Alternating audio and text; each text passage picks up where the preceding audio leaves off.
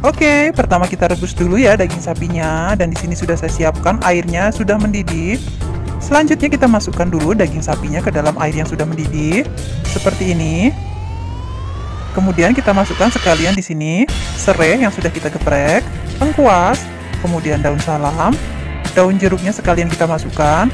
Kemudian di sini ada bunga lawang, kapulaga, kayu manis, kemudian ada biji pala, cengkeh. Lalu dagingnya ini kita rebus sampai empuk ya. Sambil menunggu daging kita rebus, kita haluskan bawang merah, bawang putih, jahe, kunyit, kemiri, jinten, ketumbar, lada. Untuk bawang bombaynya kita iris saja. Nah, sudah selesai bawang bombaynya, sudah kita iris dan ini bumbu halusnya. Selanjutnya, bumbu halusnya ini kita tumis terlebih dahulu ya. Nah, kita tumis seperti ini.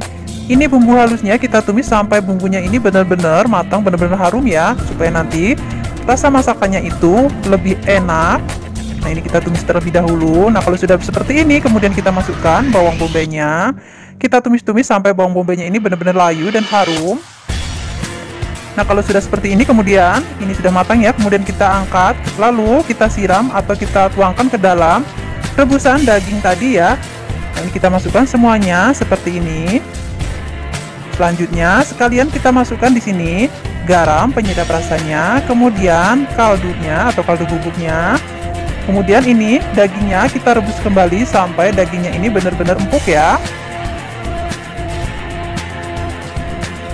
Setelah dagingnya empuk, selanjutnya kita pisahkan dulu ya daging dengan kuahnya. Nah ini kita angkat, kita tiriskan seperti ini, kita angkat semuanya dagingnya.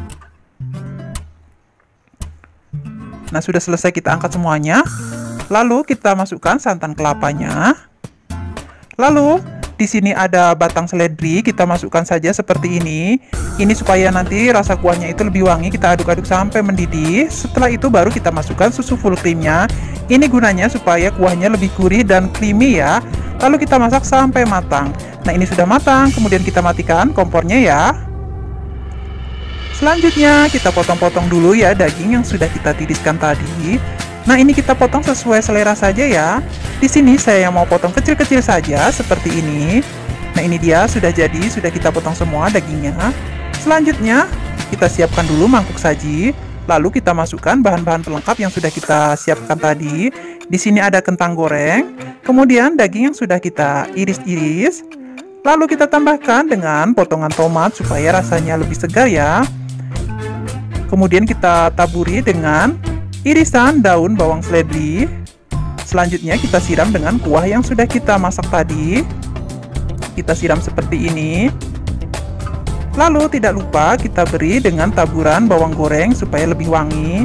Dan tidak lupa juga kita beri dengan perasan jeruk limau. Nah ini dia soto betawi daging. Sudah jadi, siap untuk kita hidangkan. Selamat mencoba ya. Terima kasih. Wassalamualaikum warahmatullahi wabarakatuh.